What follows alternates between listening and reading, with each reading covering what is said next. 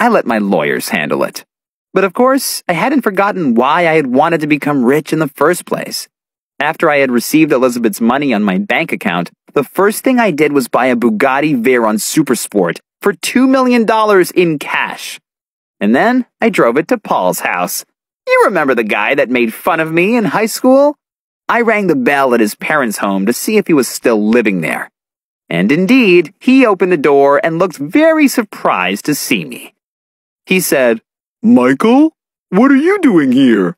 And I said, I just wanted to inform you that I have hundreds of times more money than your stupid parents. Just come. I want to show you my car. We walked to my car, and Paul looked almost shocked.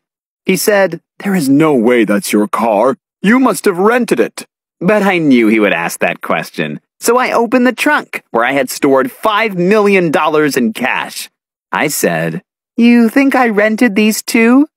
Paul didn't respond. And then I went right in front of his face and said, Now you know who's balling.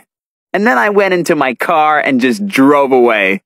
Since then, I've sent Paul a Christmas card of me next to one of my cars every single Christmas. Oh, and do you remember how I promised my mom to pay her $500,000 back for the 500 she gave me? Well, I gave her much, much more money. Because she really deserved it.